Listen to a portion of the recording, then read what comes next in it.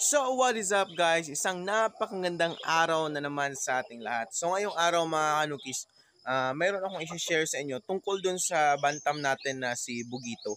Kasi yung sa past natin na videos is uh, na-share namin sa inyo yung tungkol sa um, malaria. At saka yung malaria mga kanukis, uh, hindi ko akalain na gagaling si Bugito kasi for uh, the past two days na um, inaalagaan ko siya at syempre tinitreat ko yung sakit niya mga kanukis at saka uh, pinapainom natin siya ng mga vitamina is naging epektibo naman. So sayang naman if uh, hindi ko i-share sa inyo baka mangyari din sa inyo mga alaga mga kanukis.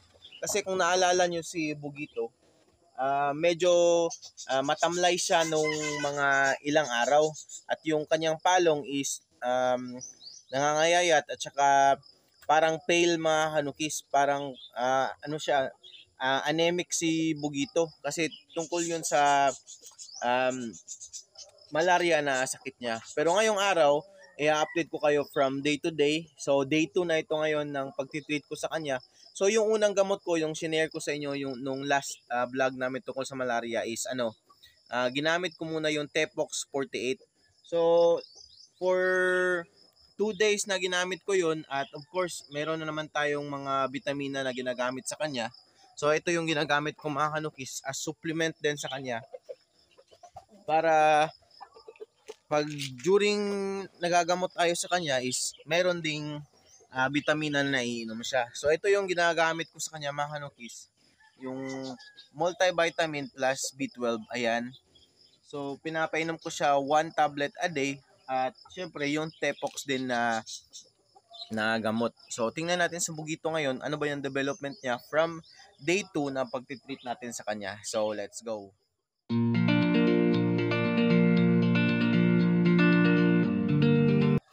So ayan na si Bugito mga kanukis oh. So from day 2 na pagtitreat natin sa kanya, so napakalaki na ng improvement niya since last ng um, na-treat natin siya mga hanukis. So tingnan nyo yung palong niya. Uh, bumalik na sa uh, dating itsura. So ang gagawin na lang natin is iti-tape na lang natin yan mga hanukis para babalik na yung postura ng kanyang palong. At syempre, gina, ginagamot pa din natin siya. So ang gagawin natin today is um, sana yun? Ayan, nahulog yung deworming. So, ang gagawin natin ngayong araw is magdi-deworm tayo sa kanya. Ayan. So, gumamit ako ng hammer. So, hahatiin na lang natin tong hammer at ipapainom natin sa kanya. So, ipapakita ko sa inyo mga hanukis. So, ito yung hammer mga hanukis. Ang gagawin natin is um, hahatiin ko ito. Ito.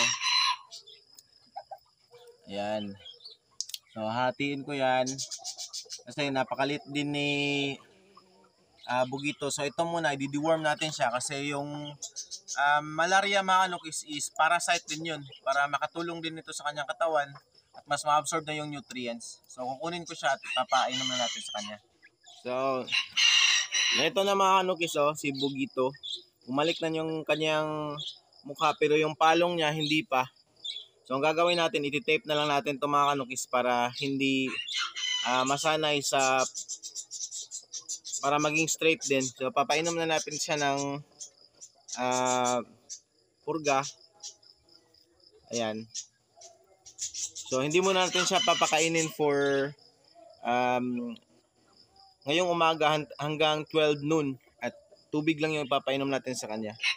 So, iti-tape muna natin yung kanyang palong at saka bukas na naman mga hanukis, ililiguan na natin siya ng washout para mawala na yung mga kuto sa kanyang katawan. Kasi isa din yun sa factor mga kanok is bakit nangangayayat yung ating mga alagang manok. So, hitape ko muna to at saka bukas uh, paliliguan na natin si Bugito. So, update ko kayo ngayong nga week kung sa development ng ating paggagamot sa kanya. So, yun lang. Sa ngayon, ang pinapainom natin sa kanya is Stepox 48 for 3 days ngayon at nag-deworm tayo sa kanya. So, bukas, day 4, update ko kayo kung ano ba yung development niya mga kanokis. So mga kanukis, para naman sa palong niya or sa tapay, so ito yung ginagawa ko mga kanukis, yung tape, magka-cut lang tayo. So ito yung ilalagay natin sa kanyang palong para maging straight. So iti-tape na natin at saka ikakat. So tingnan nyo mga kanukis. So ito para kung gusto nyo sa mga manok nyo na hindi masira yung mga palong nila. So ito tulad niyan kasi ito parang nag-curve yung palong niya. So ang gagawin natin is lalagyan natin yan ng tape. Ayan. So Titape natin yan for mga 2 to 3 days. Ayan. So ayan, ititape natin yan para makorek yung pag-curve ng kanyang palong maano. So ayan o. Oh. Kakat ko na lang.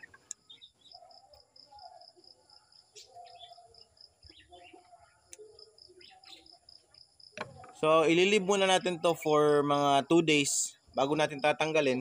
So para bumalik na yung pag straight.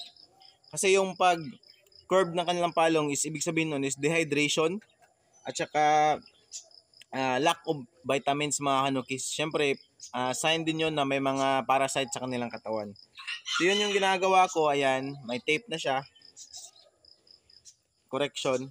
At update ko na naman kayo bukas. Paliliguan natin siya ng washout para mawala yung mga uh, parasite o kuto sa kanyang katawan. So, so far, bumabalik na yung tilaok niya. So, uh, try kong i-record bukas na pakita ko sa inyo na bumabalik na yung tilaok ni Bugito. So, this is Bugito sa day 3 natin ng treatment uh, tungkol sa malaria. See you bukas mga anukis.